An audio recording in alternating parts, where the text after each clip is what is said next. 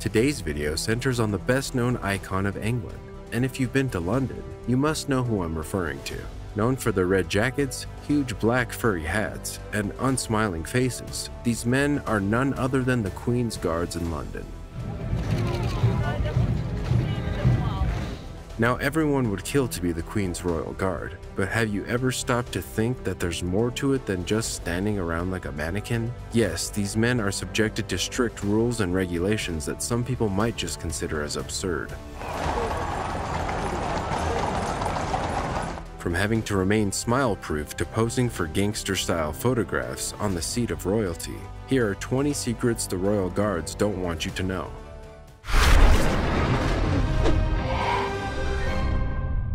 Number 20. Buckingham's Poker Face Guards. The men who stand guard outside Buckingham Palace and certain other royal palaces are, in fact, some of the best trained soldiers. They are indeed among the best known icons of Britain, and if you've ever been to London, you've probably seen them. They are the soldiers in bright red jackets or shining helmets who stand outside Buckingham Palace or Whitehall. They are men who can stand absolutely still even when tourists tell them jokes, touch them, push them, or try to make them move. What's more is that they look identical and march like robots. But who are these soldiers? Perhaps they are an army of clones or actors? Or are they real soldiers? Some people are surprised to learn that they are real soldiers, and the guns that they carry are very real too. The guns are not just for show, they are loaded. The truth about these soldiers is that they train themselves to remain smile proof so they don't lose their salary. If a superior notices a guard stretching his lips in a smile, the guard will face a fine of up to a week's pay. In most cases, the overly cheerful guard should be ready to leave with about $260. That aside, it is totally unavoidable to let out a burst of laughter from time to time. As stated by one of the guards, some people are just too funny to ignore. Before we begin, like this video, smash the subscribe button, and click the notification bell right now or this centipede will crawl on your face when you're sleeping. This takes us to today's strange topic. Did you know that the royal guards have huge heads, which is why they have to wear such big hats? One royal guard was reported seen at a salon in mid-March, and this photo so happened to be caught on CCTV when the soldier had to take off his hat to get a haircut. Surprisingly, his shoulders carried an 18-inch head similar to the bearskin hat. That's pretty much the best reason to be the Queen's Guard. I mean, no one would even notice. Hard to believe, isn't it? Some of the soldiers standing at the palace might just be hiding a mountain under their hats. Let us know your opinion about this in the comment section with the hashtag strange topic. That being said, let's continue. Number 19. The Queen's Guards hate hot weather. It is understandable enough that no one likes hot weather, but some people would give any chance to try out that new swim trunks or bikini during summer. But what if we had to consider the fact that thick wool trousers, a snug jacket, and, to top it off, a hat with bear fur, the blazing sun, and no opportunity to wipe up that hat dripping sweat are enough to make a man run mad? That's right, the Queen's Guards indeed do not find the hot days amusing. This happens because, on the hottest day of the year in London, the Queen's Guards are quick marching into 100 degree heat. Every one of them is hoping especially not to faint. All soldiers are prone to fainting in the heat, even the US Marines. In fact, it's such a problem that the British Army is funding research on how to prevent it. So how do these soldiers prepare? One guard said it's essential to drink lots of water, have a good breakfast, and wiggle your toes. It keeps the blood flowing and it doesn't show. And even if they do have to faint, they are to do it according to protocol. Imagine it's in the middle of the summer and you're wearing heavy wool, from head to toes. Naturally, even the most experienced people cannot cope with such conditions. As soon as a guard feels like fainting, he is to remain at attention, keeping his position. The guard must fall in a manner they refer to as faint to attention, which is why you won't see a guard on the floor in a crumpled up position. So, this is why you're able to find those images with them lying face down somewhere. Number 18 the British Army Recruit Battery Test.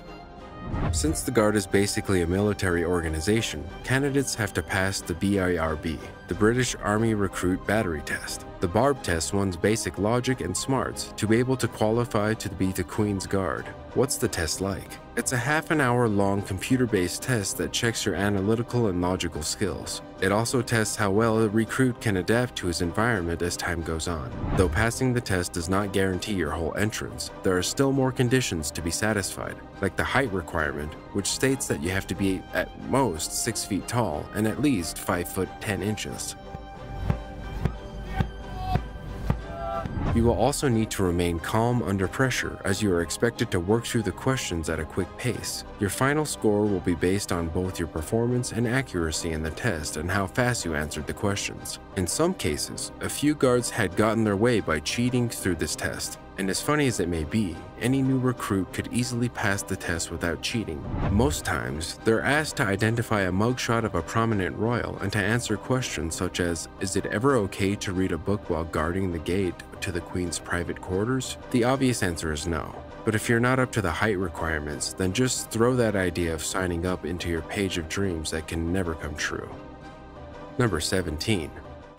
The Ring Around System this is just simply a system operated at Buckingham Palace to prevent officers from being caught by their supervisors snoozing on night duty. There are two outside posts to protect the garden area outside the Queen's bedroom. Officers on relief took turns to keep watch while officers on armed posts would sleep.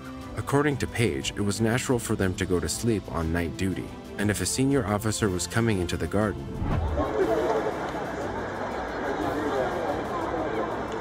he would contact the control room to ring other posts. Everyone then wakes up until the governor did his checks and had a little chat before leaving them. And just like that, they'd be back to sleep before you can say Buckingham Palace. Number 16. Royal Family's Guard Salary Working for the royal family sounds like a job of anyone's dreams. After all, who wouldn't want to hang out with people such as Kate Middleton, Meghan Markle, and of course, the Queen on a regular basis and get paid for it as well? Well, it turns out, working for the world's most famous family isn't always so easy.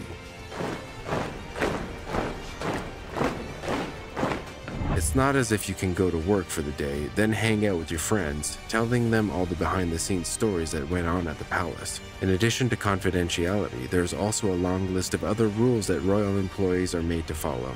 For one, the Queen's bodyguards have a code name that they must use for her in order to protect her privacy. Being tasked with protecting some of the most famous, sought after people in the entire world is a demanding job. With the millions of people that line up to get a glimpse of the royals or possibly hoping to be lucky enough to even score a handshake, bodyguards must be on full alert at all times. So this brings us to the question of exactly how much they earn. Being associated with the royal family, you might think that their staff is exceptionally well compensated. However, this necessarily isn't the case, but in the case of a royal bodyguard, they are one of the highest paid royal employees, taking home with them a sum of 100,000 pounds which comes after winning a pay dispute. Number 15. Changing of the guard at Buckingham Palace. Changing the guard at Buckingham Palace is the ceremony where the Queen's Guard hands over responsibility for protecting Buckingham Palace and St. James Palace to a new guard. This comes with specific dates in June, July, and August. Remember to always check the confirmed dates and times for changing the guard as schedules can change, sometimes at short notice. Following a march by a detachment of the Old Guard with musical support from St. James's Palace and the new guard led by a regimental band from Wellington Barracks, the ceremony on the forecourt of Buckingham Palace starts at 11 and lasts for approximately 45 minutes. The Queen's Guard is usually provided by one of the five regiments of foot guards from the Household Division, instantly recognizable in their famous bearskin caps and red tunics. Musical support is provided by a regimental band or corps of drums, with pipers occasionally taking part in the ceremony. And surprisingly, watching the changing of the guard is free of charge, and no tickets are required. During the changing of the guard ceremony, police officers are always present to ensure a safe, smooth event. But if you are coming to watch, please take care of your personal possessions at all times. Like many crowded places, pickpockets have been known to operate in this area. Number 14. The story behind those bearskins caps. Although not worn by the Yeoman warders, the fuzzy bearskin caps are an iconic feature of the Royal Guard's uniform. The origin of these seemingly excessive helmets dates back to the 18th century. At the time, the gunner in British and French armies wore these enormous bearskin caps to make them appear taller. This was believed to intimidate their opponents.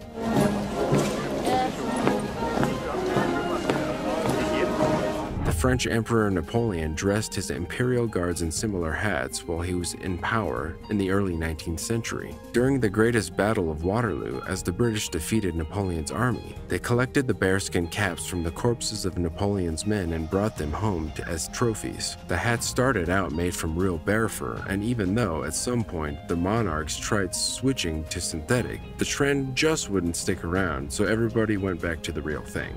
Curiously, these caps are secured under the lip of the guards by a curb chain, as opposed to under the chin. This is to protect the guard's neck in combat. The hat is so heavy that if it was tied beneath the chin and the guard was shot during an attack, causing the hat to drop backward, the guard's neck could snap in the process. The bearskin cap is said to get its name from the fact that inside is a cap that fits snug to the head of the wearer. Number 13. The reason behind wearing black pants. Have you ever wondered if members of the Queen's Guard take bathroom breaks? Well, the answer is no, at least not during their two hour shifts on duty. They're not permitted to leave their posts, not even to go to the bathroom, and you can see where we're going with this. Suppose they really must go or cannot make it to the bathroom on time. In that case, guardsmen are instructed to relieve themselves in their uniform, which is why they chose to wear the dark colored thick woolen pants. If an accident should occur, it should sufficiently hide any embarrassment. You may think that holding it in for two hours is no big deal, but these guys have to drink a lot of water on hot days to prevent themselves from getting dehydrated. In fact, according to a Reddit user, one guard was amid a ceremony and he couldn't hold it any longer. Unfortunately, he happened to be on the front row and had left a huge noticeable puddle where he was, and some of the crowd noticed and started laughing. Number 12. They get bored.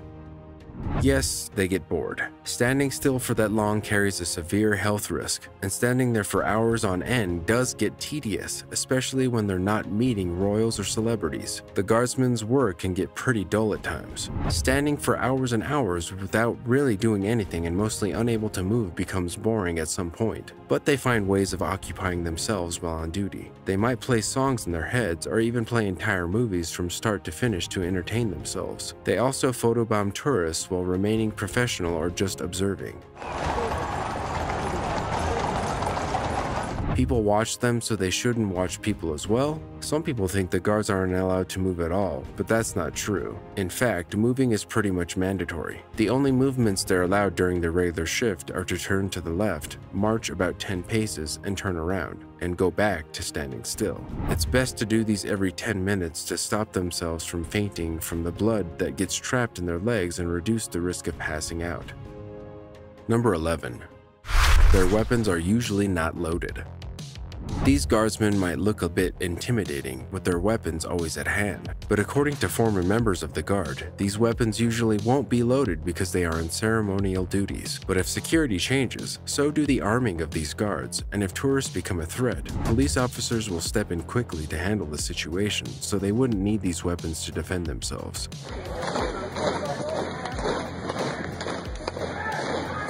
However, if there's a high threat level of a possible attack, they will indeed carry live rounds. Their weapons may not be loaded at all times, but they still have a sharp bayonet at the end that tends to upset people when they get stabbed with it. But just to be on the safe side, according to rule number one of gun safety, all guns are loaded. It doesn't matter if they are actually loaded or not, but everyone should still treat them like it is.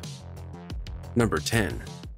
Reacting while on duty the Queen's Guard comprises of various soldiers tasked with guarding the residences of the Queen and by extension, the Queen herself, consisting of soldiers mostly handpicked from five elite regiments within the British Army. The Queen's Guards are internationally renowned for their stoic dedication to duty. However, contrary to popular belief, these soldiers are permitted to move and do so regularly, even when just on guard duty and not on parade, and in certain circumstances do react to hecklers or the like. That said, member of the Queen's Guard will rarely openly react to tourists taking photos or telling them jokes to try and make them laugh, and are, in fact, specifically instructed to ignore stuff like this. However, suppose a particular group of tourists is being incredibly annoying. In that case, the guard may make their best effort to ruin a picture or the like. For instance, by suddenly turning and marching right when the tourists are all posing for a photograph with the guard. In one instance we came across, a guardsman noted he just continued to march while such tourists were around, passive aggressively getting them back for their disrespect, somewhat akin to the Seinfeld soup Nazi. No picture for you. Number 9. Make way for the Queen's Guard. It's not a Disney parade, they're real soldiers doing their job. When a regiment is marching, do you really expect that each of them down the line, using some sort of hive mind, will know to make a diversion because some damned fool couldn't simply stay out of the way? Make way for the Queen's Guard, because this is their post to patrol. This is their space, and they are trained to protect it and the Queen, and ultimately the palace or castle they are on duty at. This does not mean going around the public, but walking through the public if they get in their way. Some members of the public think it is a joke, but all guardsmen are highly trained elite infantrymen and professional soldiers, and it is not a joke to them. There is also a drill movement called On Guard in which, with a bayonet fixed, the guardsmen can challenge the member of public by shouting on the guard and pointing their rifle at the person not taking notice. And if they do not listen to the guardsmen making the challenge, they could be arrested, as there are usually lots of police around to support them. Similarly, if you block their movements, they're allowed to shout out, make way for the Queen's Guard, and if you get in their face or if they have to shout too many times, they'll knock you out, then stoically resume their post. Number 8. The Queen talks to them.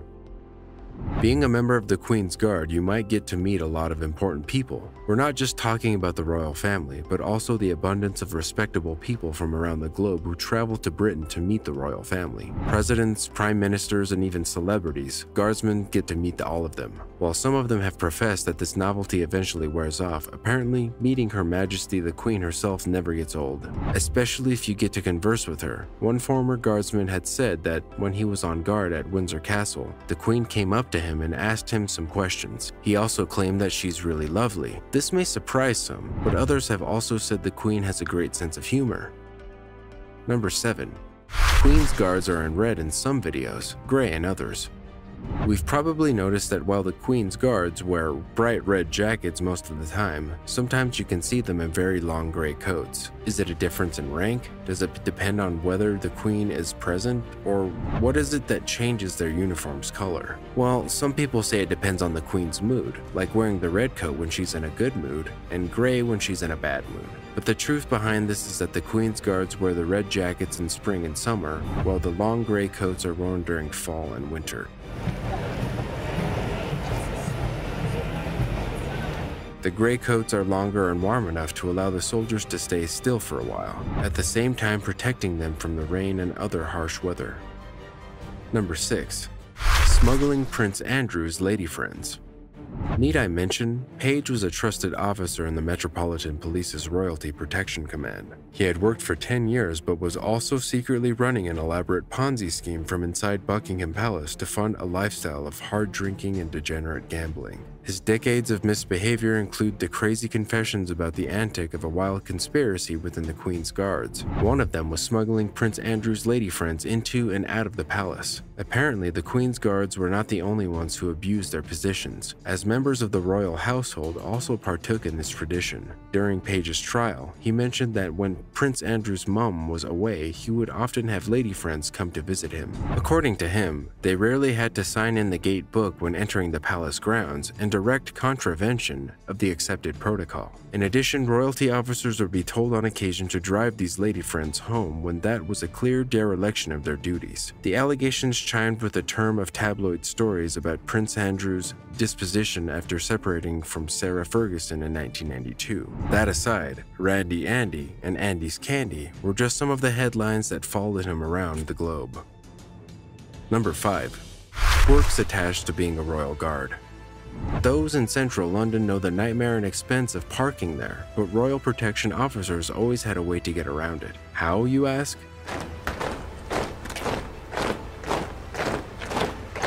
Well, the royal household staff, diplomats, and other dignitaries who are unable to park at nearby Buckingham Palace can do so at St. James's Palace on the Mall. And it so happened that at Page's trial, one constable revealed that for years there was an unwritten rule for officers to also raise the barrier for wives, friends, and family members who fancied a spot of shopping, maybe followed by a West End show.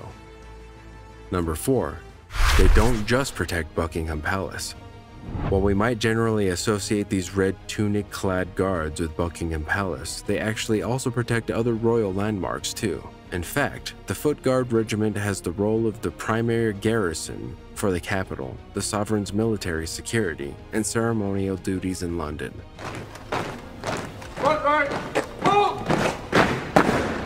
The duty of the Queen's Guard is to protect all the residences of the British monarch, so while they're primarily associated with Buckingham Palace and central London, they can also be seen at Windsor Castle, St James's Palace, or the Tower of London. You'll also see foot guards at Wellington Barracks, as well as the Royal Artillery Barracks, Woolwich. There are no sentries guarding Edinburgh Castle, except for when a royal visit occurs. However, this is likely to be one of the foot guards. In Scotland's capital, Edinburgh, the Queen's Guard can be found at the Palace of Holyrood House in Edinburgh Castle. But unlike the London locations where they are on duty all year round, they only stand guard when Her Majesty is actually in residence. Number 3 coming to work drunk and disorderly. Drinking was a huge part of the culture among the Queen's Guards, but such was the need to have complete relief for armed officers on duty at all times that it was stated that even those who turned up smelling strongly of booze were allowed to book out weapons and get on with the job. Page had mentioned that he and his colleagues were putting their fully loaded weapons to other uses, as well as carrying firearms while drunk and using them as props for gangster-style photo shoots. Listen, he's doing his job, don't be an idiot. You can't do nothing. He also mentioned that some officers threatened to turn their guns on themselves or others. Page had clearly stated that one officer stationed at a post on the palace perimeter threatened to shoot himself while on night duty. He was talked out of it and had his gun confiscated, but then managers redeployed him to a new role, handing out weapons to others. One officer was soon nicknamed Two Shots after accidentally discharging his weapons twice in the Queen's train.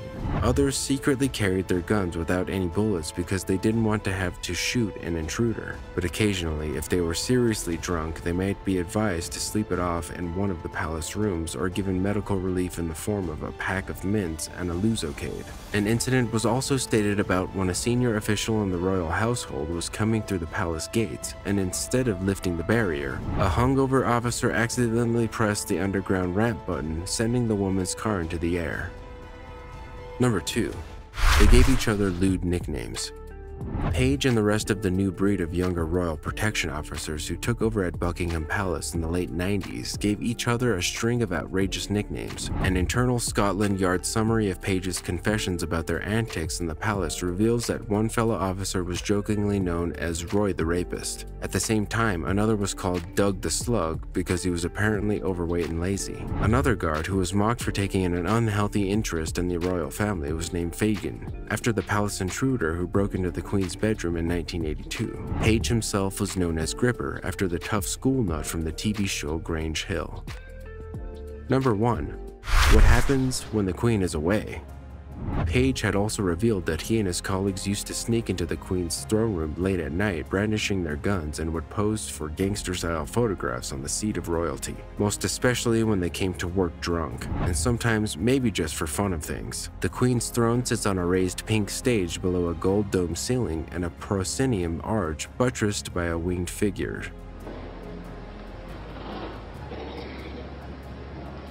Cross-examined at Page's fraud trial in 2009 about why he would risk the sack by daring to damage the royal perch, a fellow guard replied that perhaps it was to say you've done that, maybe to your grandchildren. According to him, they would sit on the throne and laugh. Page also swore that if one gets a chance to sit on the throne of England, they would never pass it up. And that's all for the 20 secrets the Royal Guards don't want you to know. Are there possibly other secrets we don't know about that you do? Then let us know about it in the comment section. Also, check out our other cool stuff showing up on the screen right now. See you next time.